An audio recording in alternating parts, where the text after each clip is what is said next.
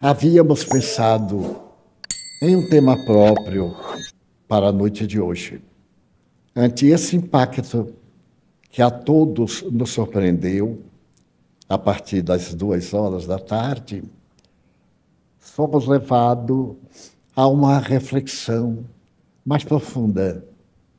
E eu me utilizo de uma página de Somerset Maugham, o notável escritor inglês, que falando sobre a morte, escreveu a Oriental, uma lenda, que era a lenda do encontro com a morte.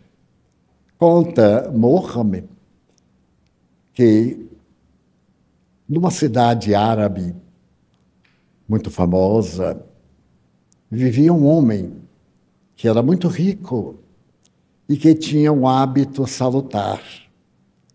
Esse hábito curioso fazia que ele mantivesse um empregado inteiramente dedicado a atender-lhe o que seria o vício. Ele diariamente se utilizava de uma erva estimuladora que comprava na praça central da cidade. E esse servo, que era ainda jovem, naturalmente continuando o trabalho de alguns anteriores, era muito fiel e devotado ao seu amo. Certo dia, o amo chamou e pediu, como sempre, para que ele fosse adquirir a substância vegetal de que se utilizava diariamente. E o servo partiu, como fazia todo dia naquele mesmo horário. Quando ele chegava próximo da feira da cidade, ele defrontou a morte.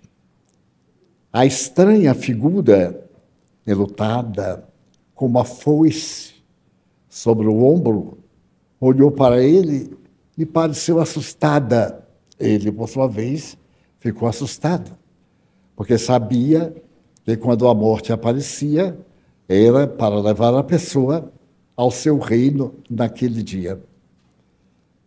Então a morte olhou bem para ele, e enquanto ele estava naquele conflito, a morte introduziu a mão na parte interior da sua túnica e tirou uma pequena caderneta.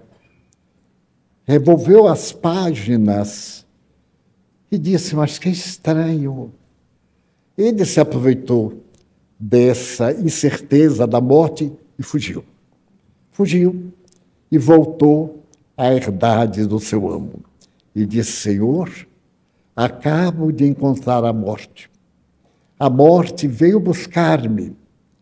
Mas no Corão, nosso livro sagrado, há uma página que afirma que a morte chegando a um lugar e não encontrando aquele que deve conduzir, concede-lhe mais dez anos de vida. E como eu pude fugir, eu gostaria de pedir ao amo, a quem tenho servido com abnegação, que me conceda fugir de Bagdá na direção de uma cidade próxima.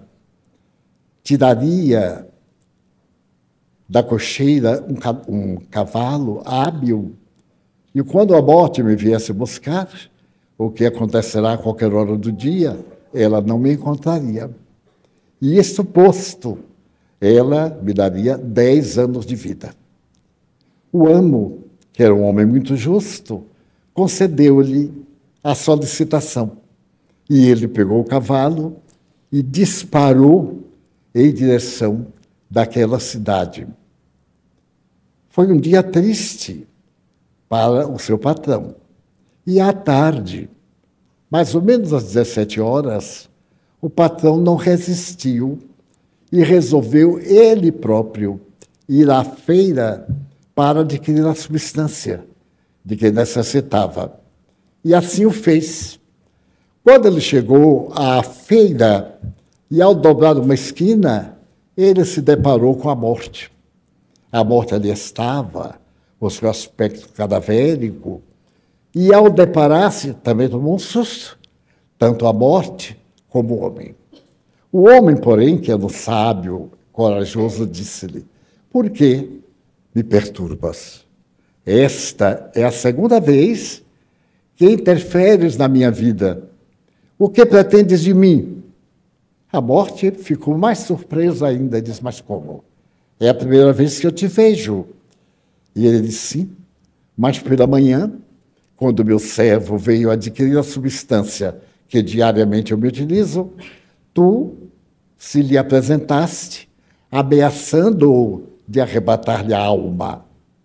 Aí a morte deu uma risada.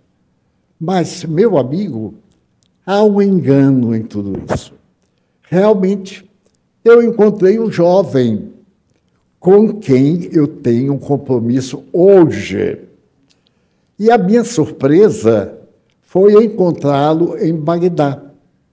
Abriu a caderneta e estava anotado: encontro com fulano de tal, às 18 horas da cidade tal. Então, neste momento, eu estou indo para a cidade de lá, embora eu saiba que ele está aqui. E a morte foi exatamente para onde o indivíduo tinha ido. Somerset Maugham, que era materialista, estabelece que a morte é uma fatalidade irrecorrível. Tudo que nasce, morre. E a morte é um fenômeno biológico que atende a todas as expressões vivas, minerais, vegetais e animais. Dizemos minerais porque há um psiquismo através da energia dos átomos que produz a ligação das partículas para poder organizar o objeto material. E então, é natural que a morte seja uma fatalidade, de que ninguém escapará. Podemos escapar de tudo, menos da morte. Mais cedo ou mais tarde, a morte estará próxima de nós. E o que é mais curioso é que ninguém sabe o dia em que vai morrer.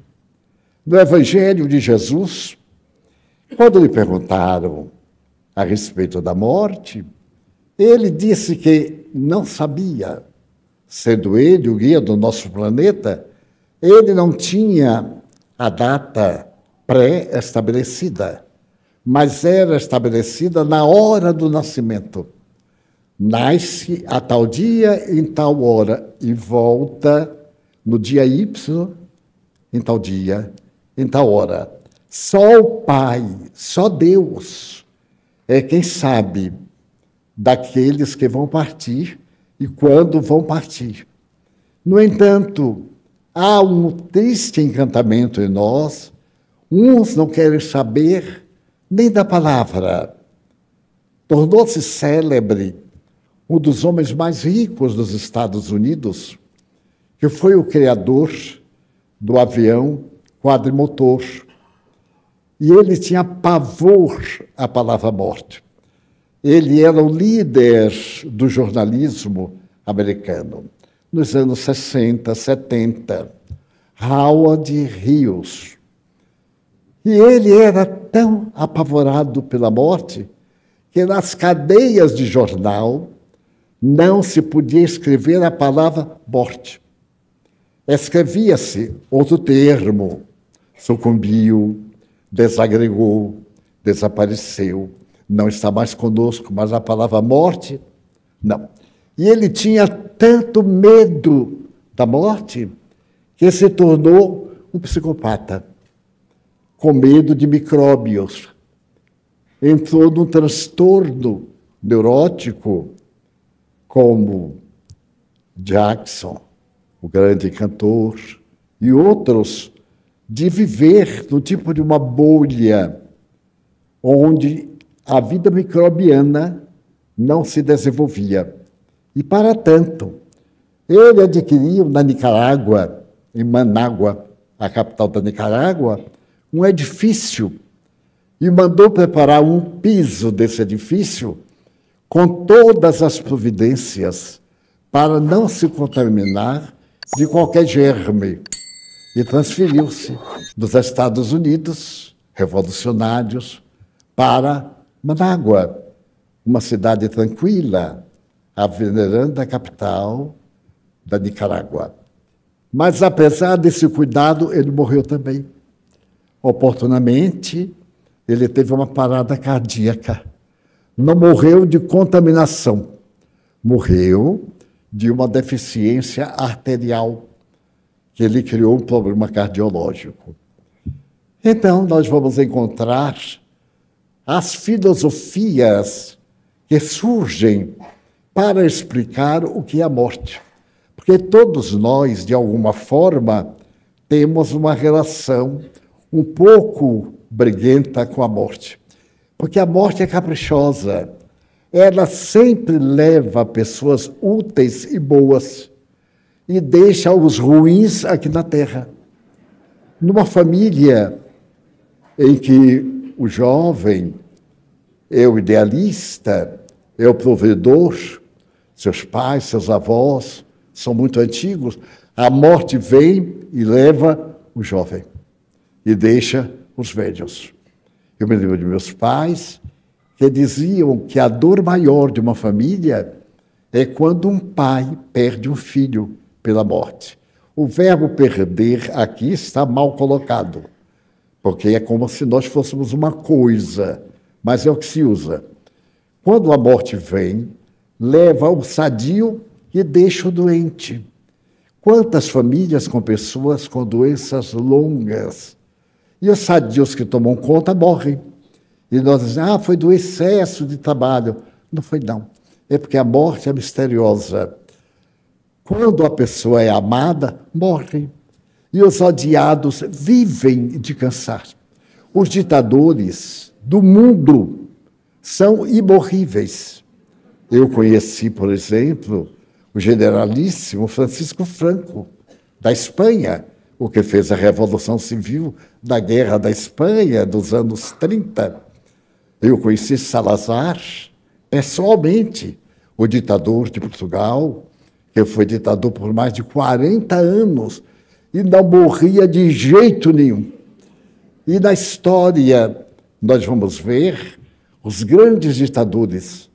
Não fossem as guerras que os dizimam, as vidas seriam muito longas.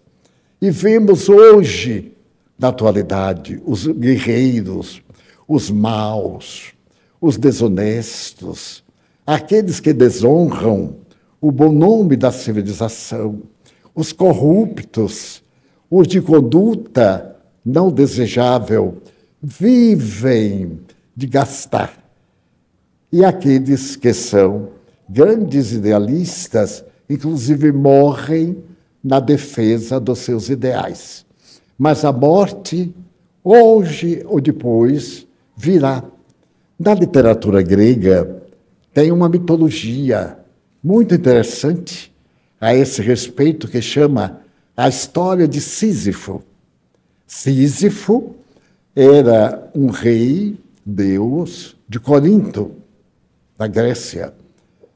E ele administrava aquele país de uma forma muito especial. Ele tinha uma filha chamada Egina, mas o seu país era muito pobre de águas. E, oportunamente, ele soube que a sua filha havia sido raptada. E então ele promete que se alguém descobrir onde ela está, ele faria qualquer coisa em benefício daquele Salvador. E alguém contou que havia sido Zeus que a raptara, raptara e levara para seu paraíso.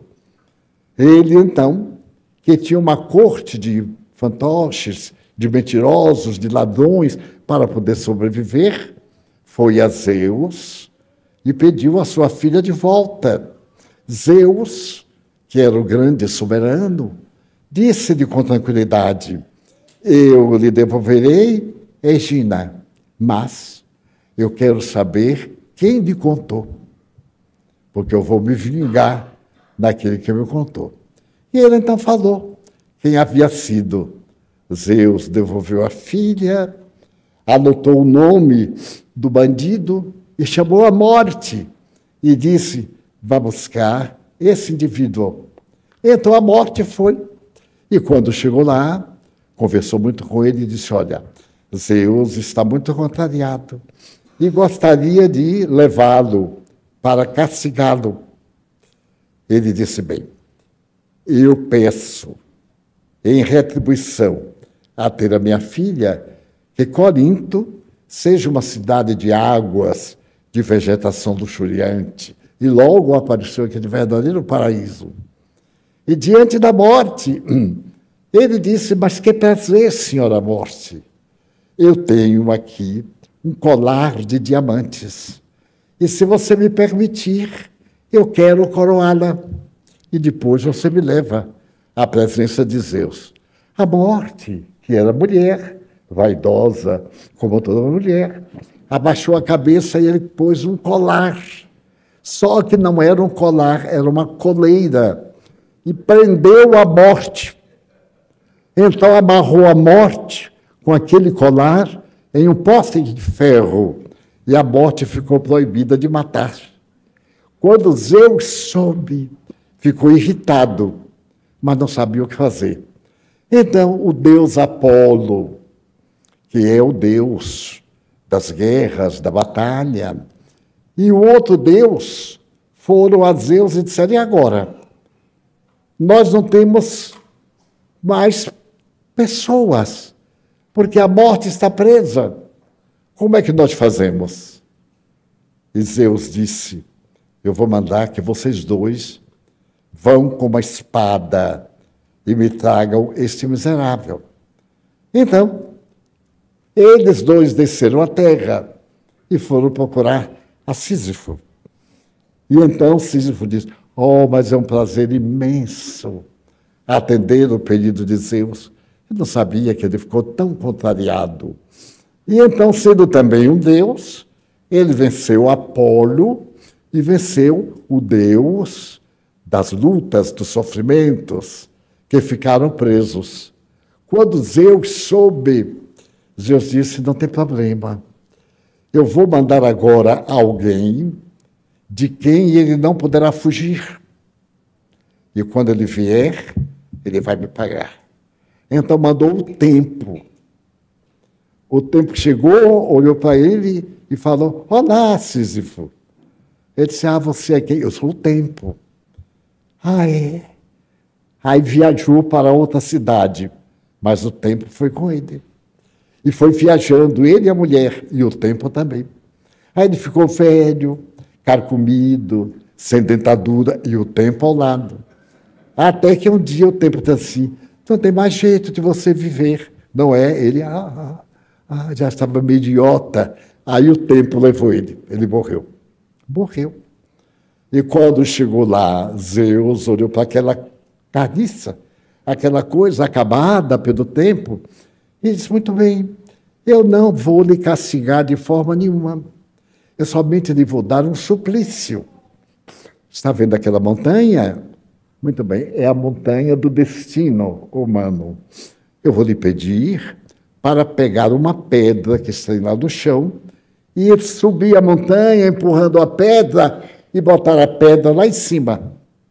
Na hora que a pedra ficar lá em cima, você volta a viver. E Sísifo, muito contente, chegou, viu a montanha e a pedra. Era uma pedra meio arredondada. Ele então deu um empurrão, a pedra se mexia. Ele então começou a levar a pedra e colocar lá em cima. Quando ele largou a pedra, ela escorregou e voltou para baixo. Ele disse, mas que coisa, vou ter mais cuidado, desceu. E até hoje, ele continua empurrando a pedra, que é a pedra do destino. Então, é chamado o castigo de Sísifo, como o túnel das Denaides, que também é outra punição de Zeus. Daí a morte é considerada pelas religiões um fenômeno mágico e desde o começo do pensamento humano, o ser humano pergunta: por que morrer? que é morrer? Será que com a morte nós nos acabamos? Os deuses, então, prometeram que para consolar as criaturas humanas, a morte era levá-los para o Hades, a região infernal, atravessando o rio. Cada defunto levava entre os dentes uma moeda de ouro, de prata ou de cobre, de acordo com a posição socioeconômica.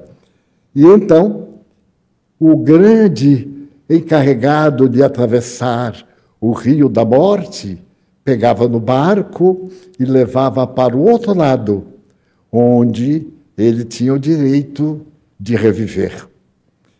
Então, essa tradução e tradição vem de um arquétipo da memória do próprio tempo.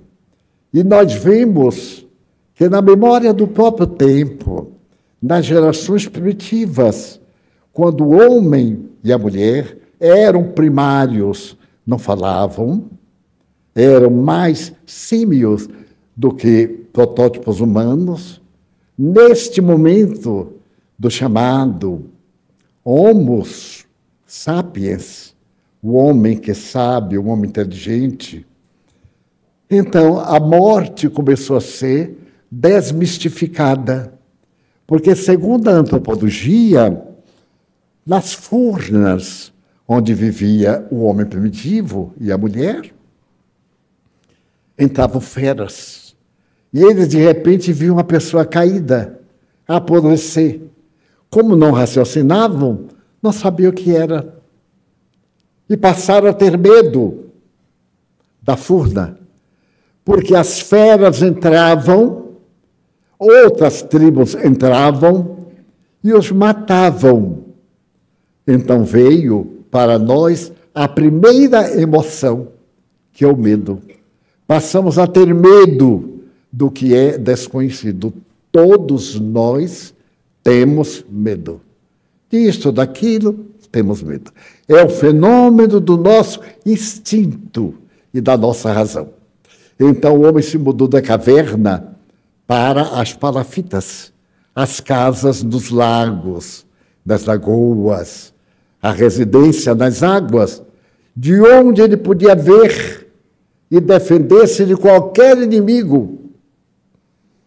É curioso, este momento, ele sabia que ia padecer, que ia morrer, mas ele se precatou. E que fez? Se armou, armou, para quando viesse o inimigo, ele matar. Só que ele não sabia exatamente o que era matar. Mas, com as embarcações que a imaginação concebeu, a palafita perdeu a sua segurança e a criatura humana ficou irada. A segunda emoção que nós temos é a ira. Qualquer coisa que nos desgosta, nós nos iramos. A glândula suprarrenal derrama bastante energia e nós nos irritamos. De acordo com a nossa consanguinidade, ficamos pálidos, frios ou avermelhamos. É a ira. Então, todos nós, sem exceção, nos iramos. Às vezes, por nada, alguém pisa em nosso pé, a gente tem vontade de estrangular o indivíduo porque pisou em nosso pé. Eu conheço uma história real de um amigo irado. Ele era tão irritante e irritado que um dia, caminhando, ele tropeçou num homem ao dobrar uma esquina. E aí ele se enfureceu e ameaçou o homem de bater. E o homem disse assim: Mas você não me viu? Ele disse: Eu vi. Ele disse: Mas eu sou cego. Então ele atropelou um cego e queria ter razão. Porque nós é assim, a razão é sempre nossa. Não há um criminoso que diga que a razão é do outro. A ira. Mas com a ira, nós nos armamos para destruir o outro. foi quando a nossa inteligência desabrochou com os emigrados de Capela, que vieram reencarnar na Terra. E nós passamos a sentir a terceira emoção, que é o amor. Todo mundo ama. Talvez não saiba a palavra, mas tem amizade, depende, tem ternura. Às vezes odeia o mundo inteiro e gosta de uma galinha. Às vezes se dá mal com todo mundo e se torna amigo de uma pessoa cruel. Porque o amor é um momento de sentimento. A emoção se expressa através do amor. A gente faz tudo, mas o amor nos vence. Conheço velhas histórias da literatura em que a pessoa se mantinha no amor, embora perdesse tudo, o amor era mais importante. Há um filme da Segunda Guerra Mundial, A Busca de Ryan. É um soldado que ficou preso pelos alemães e os americanos prepararam um grupo para irem salvar Ryan. Eles não tinham nenhum vínculo, mas o fato de salvar uma vida deu aquele sentimento de vida e ficou célebre. Foi feita uma película cinematográfica.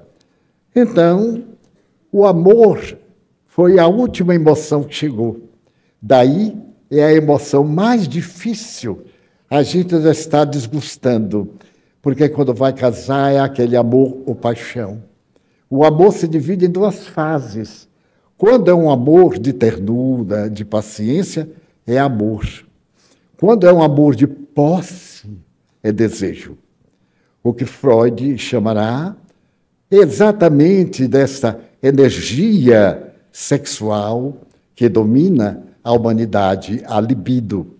E ele vai dizer que todo ser animal e vegetal tem libido para a procriação da espécie. E que, por enquanto, o amor entre as criaturas ainda é feito de paixão. A gente ama o belo, o harmônico, a libido nos leva a sonhar estar com aquela pessoa. Mas há também pessoas que adoram feios e aleijados. Eu conheço uma história da literatura francesa do século XIX e uma outra do século XVIII, que o homem era tão feio, história real, ele era tão feio, tão feio, corcunda, puxava da perna, tinha o rosto torto e se casou com a moça mais bonita da cidade. Todo mundo queria casar-se com ela na Alemanha. E ela recusava. No entanto, um dia esse monstro feio disse que a amava, mas que sabia que ela não ia aceitá-lo porque ele era um monstro de feio. Ela olhou para ele e disse: Mas você me ama? Eu te amo. Mas você não vê que é impossível. Eu rejeitei todos os homens que me deram fortunas, eu quero a minha beleza. Ele disse assim: Vou lhe contar uma coisa.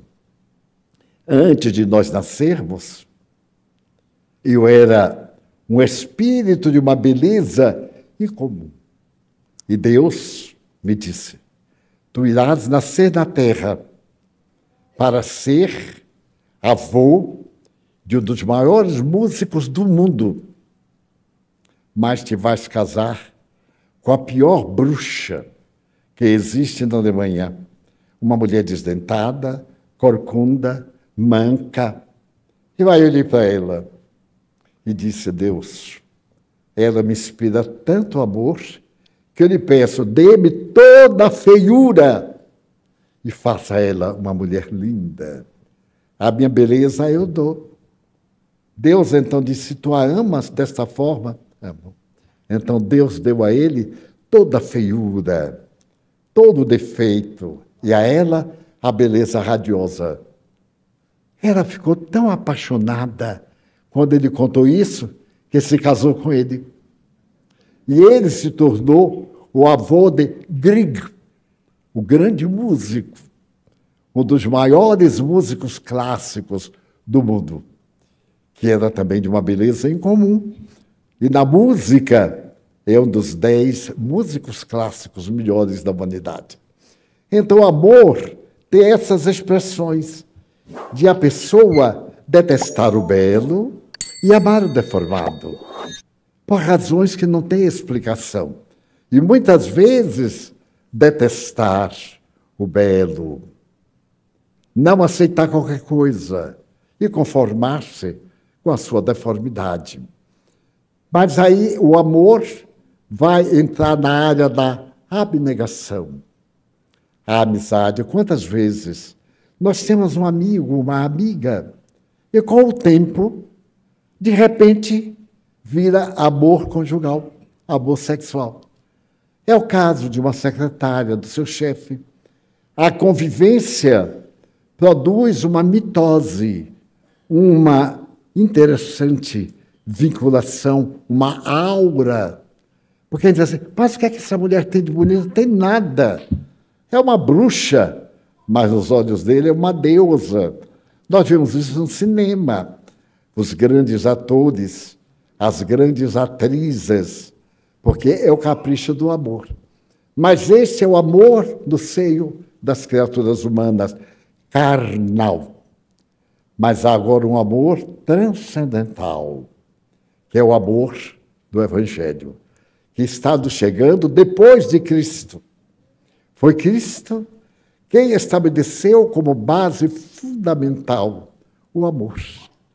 E então a lição do Cristo reúne todos os profetas antigos.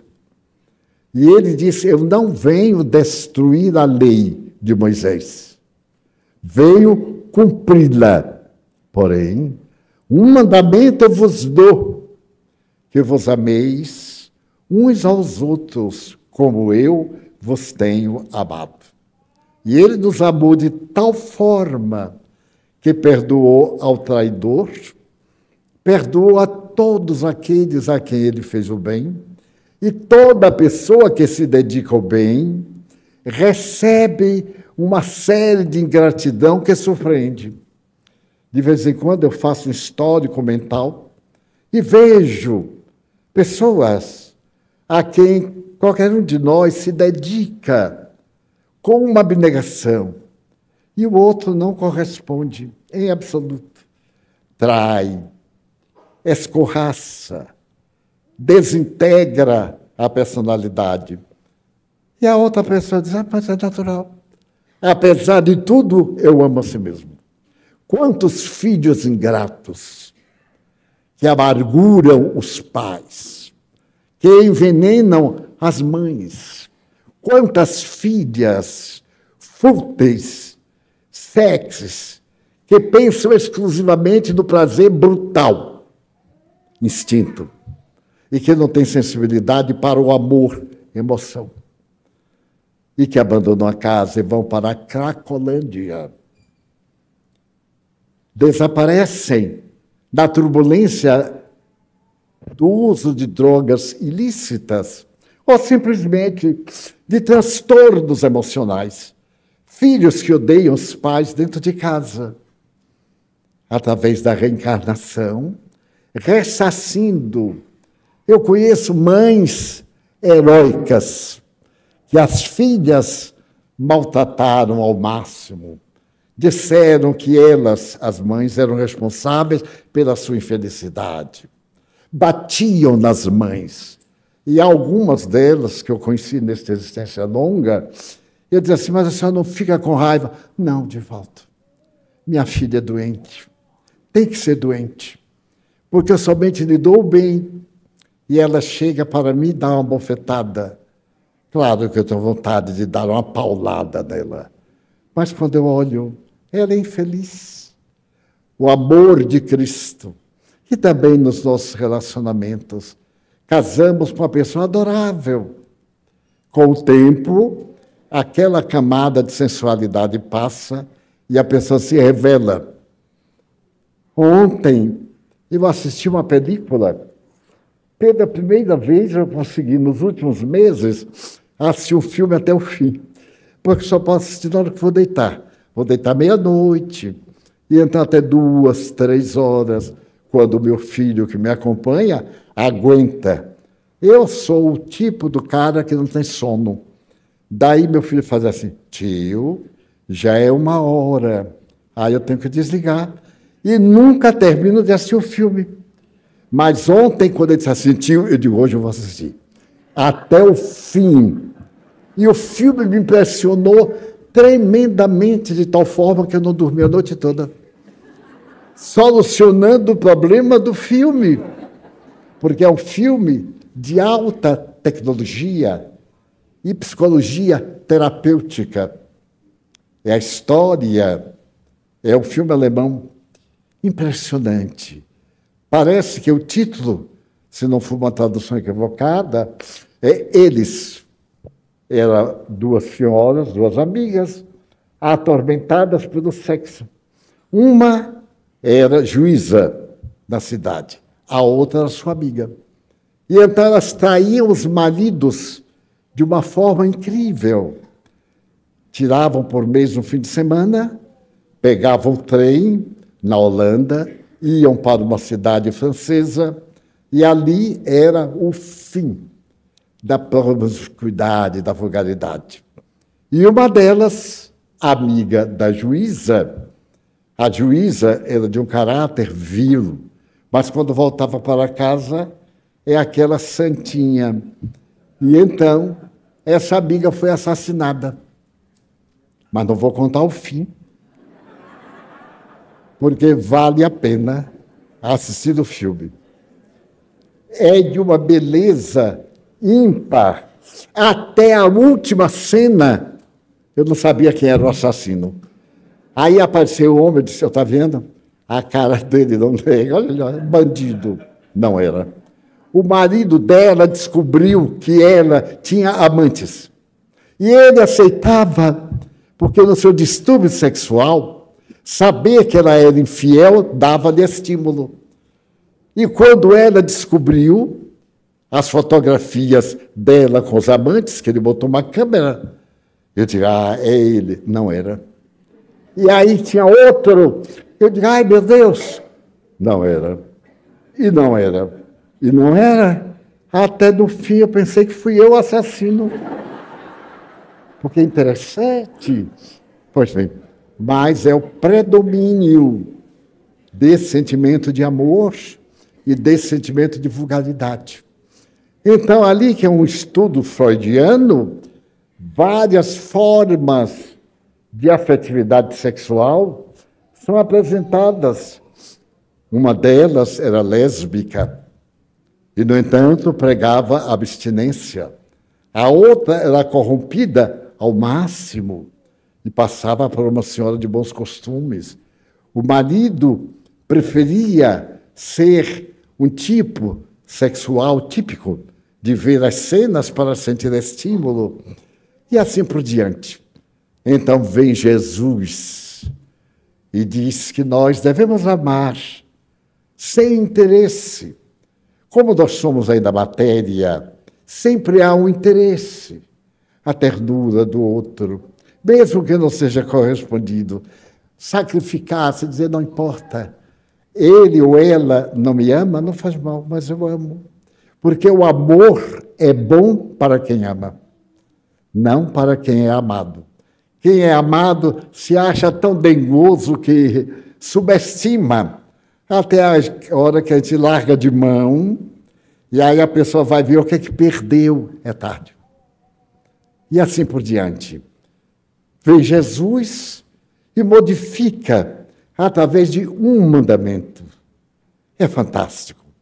O amor soluciona qualquer problema. Se você tem dificuldade em resolver um problema, pense em amar e vai resolver. Ou se coloque no lugar do outro. Como a gente quer sempre ser bem tratado, aí é natural tratar. Mas o que aconteceu com Jesus? Hoje é um dia histórico da religião, que é o sábado de Aleluia. Ele foi assassinado na sexta-feira que é Sexta-feira da Paixão, que foi ontem, e que as religiões exigiam não comer carne. Que tem a ver a carne, o bacalhau, o peixe, com a morte de Jesus no Calvário? É a hipocrisia religiosa. Felizmente, o novo Papa decretou que a pessoa que não come carne já está perdoada de véspera, ou que come carne.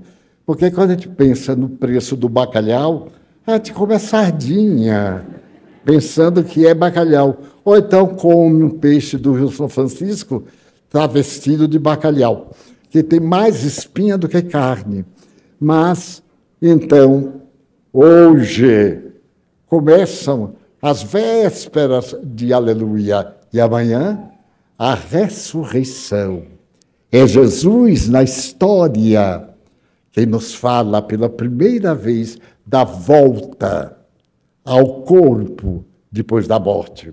A ressurreição não está somente no Evangelho. Entre os egípcios, antes de Cristo, entre os hebreus, no Velho Testamento, antes de Cristo, nos fenícios, nos persas, dos egípcios, dos chineses, das civilizações antigas, a imortalidade da alma está presente. Daí, os egípcios haviam estabelecido que tem a reencarnação, que ainda volta, mas esta volta pode vir sob dois aspectos. No aspecto animal, quem foi mal volta como barata, que é um inseto muito simpático, barata, cobra. E tem pessoas que são verdadeiras cobras. Não é errado.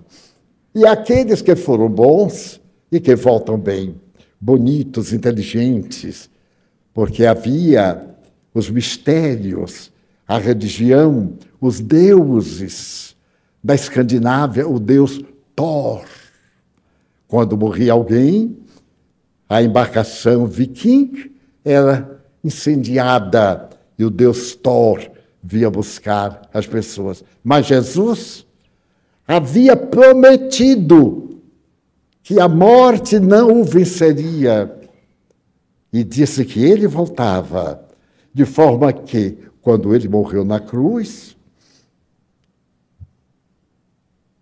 o governador mandou botar na sepultura quatro soldados para evitar que os discípulos viessem e roubassem o corpo e dissessem depois que ele havia ressuscitado. E apesar desse fenômeno, o Evangelho diz que os soldados foram vítimas de um sono.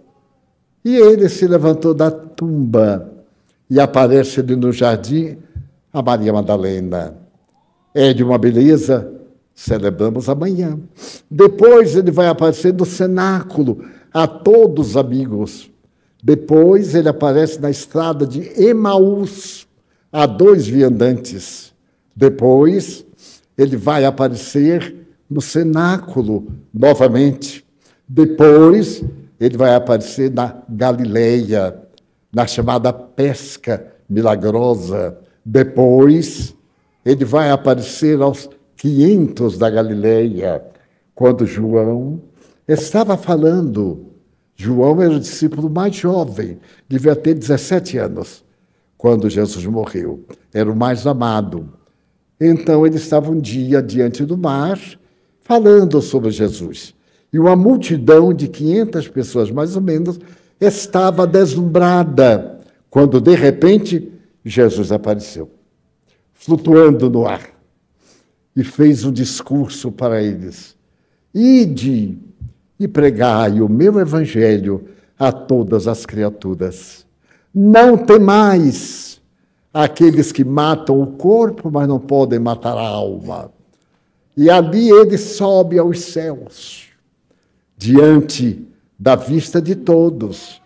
E esses 500 que o viram reencarnaram-se através dos tempos, até hoje. Ainda estão reencarnando para darem a boa notícia. Mas o que é que as religiões fizeram do Evangelho de Jesus? Fizeram uma arma. Eu falei que no primeiro período quando o homem era primitivo, ele se armou. Em verdade, nós devemos viver desarmados. E ao invés da arma, o amor, que é a maior arma de pacificação universal. Fazem campanhas para o mundo se armar ou desarmar. Podem acabar com todas as armas o indivíduo briga, porque ele é que anda armado uns com os outros. Pessoas lá que a gente olha, ela, o que é que está olhando? Já aconteceu comigo. Eu fico, às vezes, observando pessoas obsidiadas. Então, eu fico observando na via pública, nos aeroportos, em todo lugar. E alguns viram para mim e falaram: por que está me olhando? Eu disse: é porque eu não sou cego. Ninguém pode proibir. E alguns eu já cometi uma das maiores calamidades no aeroporto da Guatemala, quando eu ia pegar o voo para o Panamá e Salvador.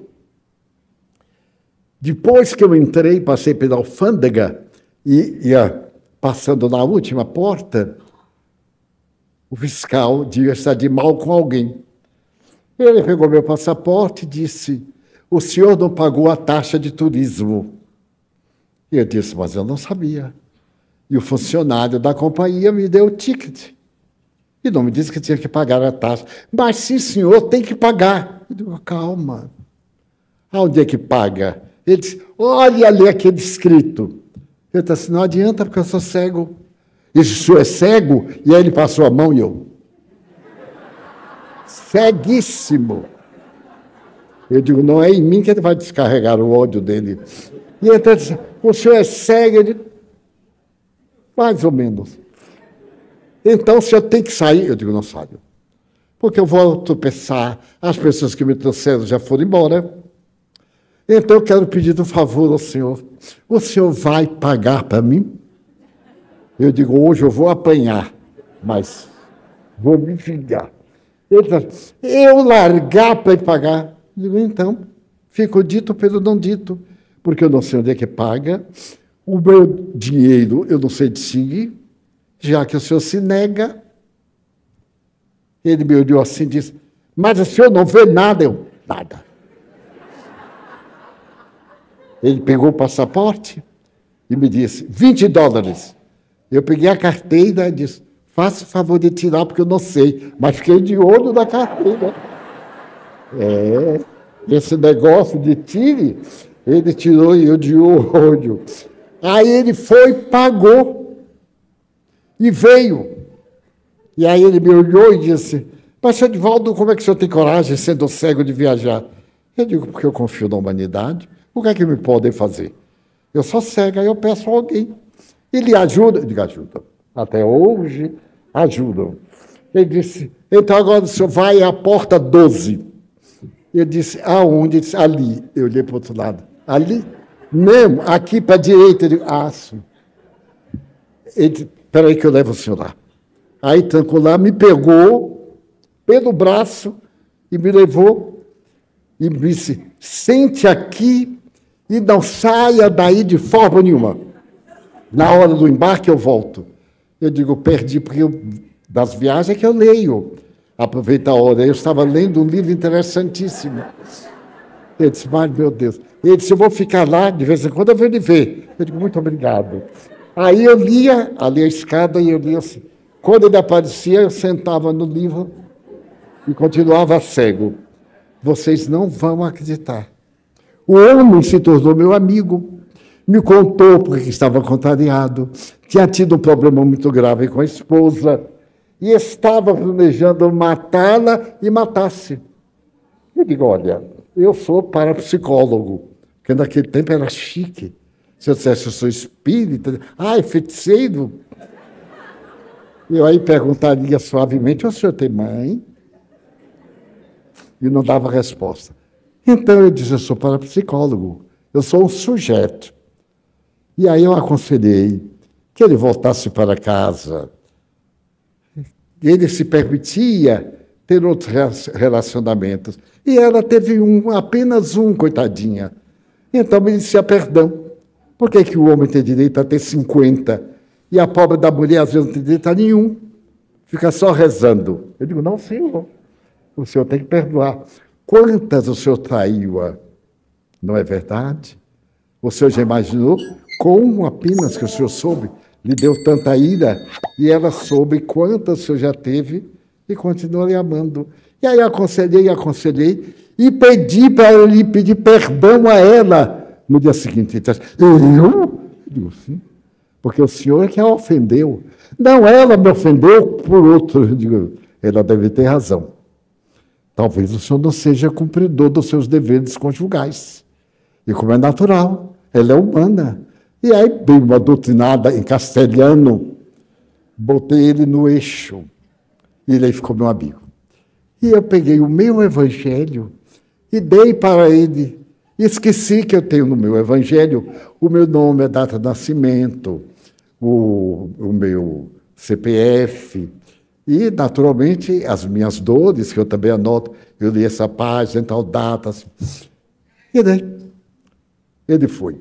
Daí a pouco chega o avião e chega o homem. Ele chama a aeromoça e diz: olha, coloque este rapaz, naquele tempo era rapaz, em um lugar muito bom, porque ele é cego, viu? E eu digo: eu tenho que ficar cego até o Panamá.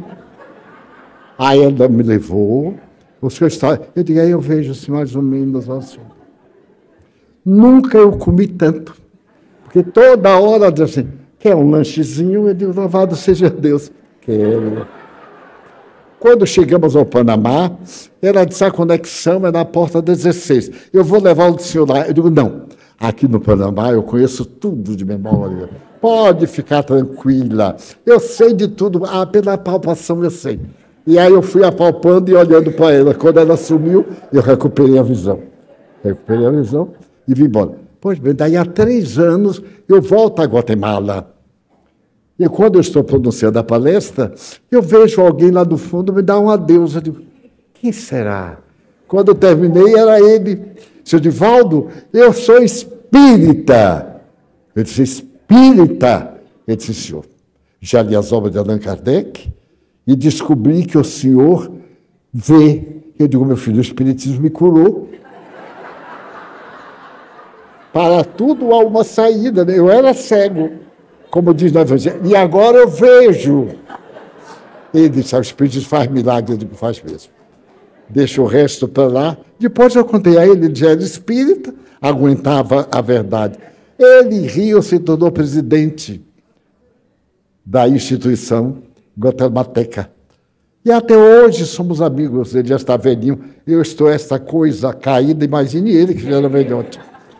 Pois bem, então, Allan Kardec coube a tarefa sublime de estudar esses fenômenos e dizer que não eram anjos nem demônios, éramos nós, portadores de mediunidade.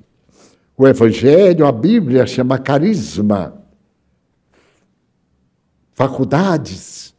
Mas são denominações de cada país. Hoje, nos Estados Unidos, eles chamam channel, canal, e nós chamamos médium, aquele que está entre dois pontos.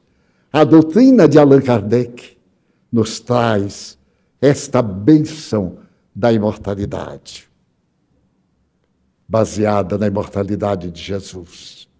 Nos dulcifica, e no dia 31 de março, dentro de dois dias, em Paris, na Travessa Santana, número 31, da Rua de Santana, no bairro da Ópera, morreu Allan Kardec.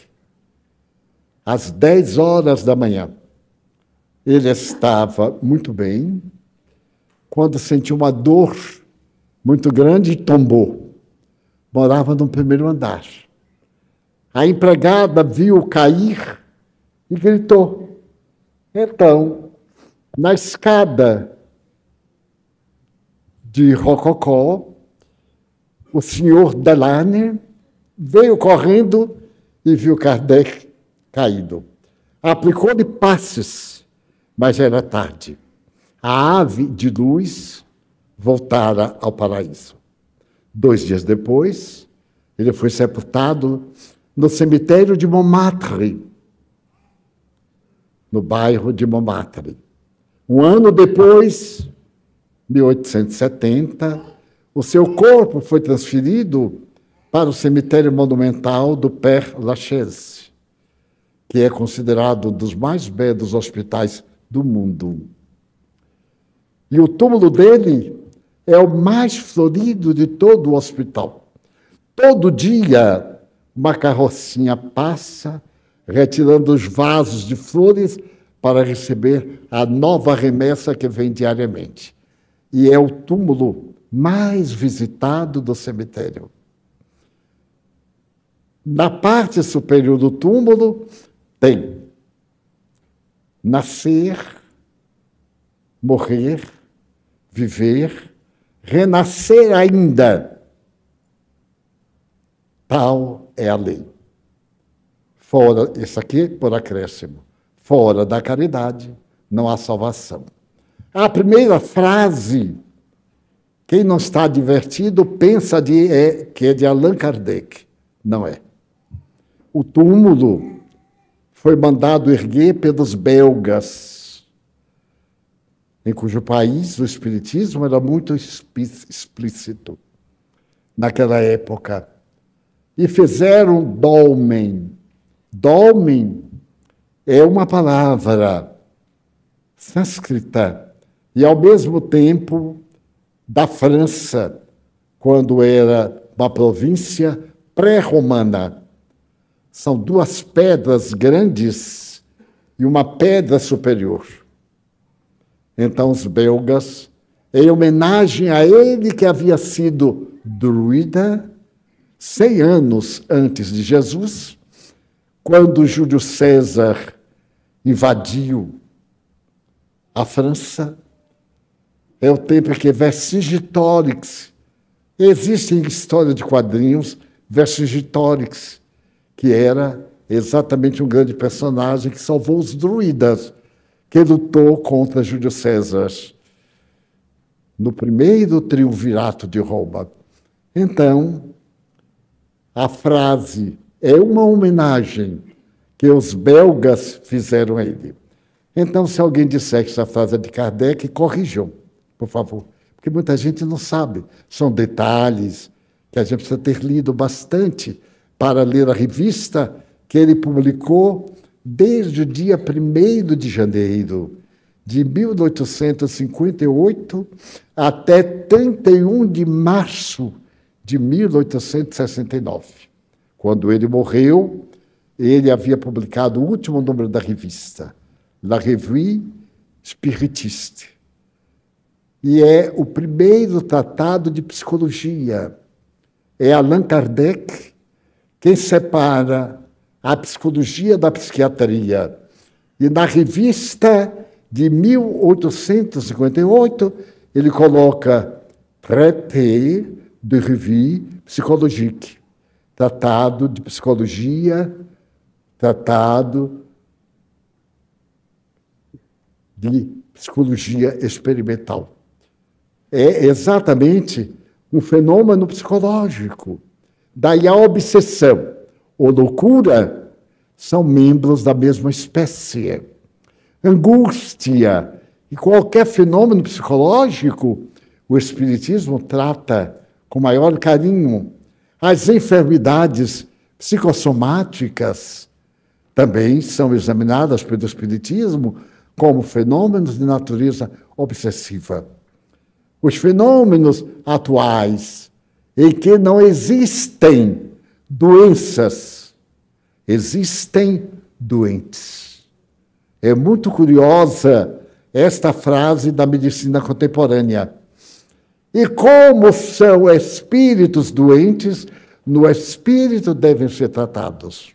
Daí, quando o querido peixinho despertar além da morte, ele vai encontrar a figura de seu pai, a figura de um dos seus guias espirituais, Marco Antônio de Joana de Ângeles, de Filomeno de Miranda e de um sem número de espíritos aguardando por ele. E tenho a certeza absoluta que ele será muito feliz, porque na terra ele semeou o bem. Para todos, uma feliz Páscoa. Páscoa significa passagem. É a celebração dos judeus de quando os egípcios libertaram os judeus e eles atravessaram o Mar Vermelho. É a passagem do Mar Vermelho. Em hebraico é Perchá. Então ficou essa tradição. Jesus foi assassinado na Páscoa. Por isso que nós cristãos celebramos a Páscoa em homenagem à libertação dos judeus, mas principalmente ao crime que eles praticaram contra Jesus na Páscoa.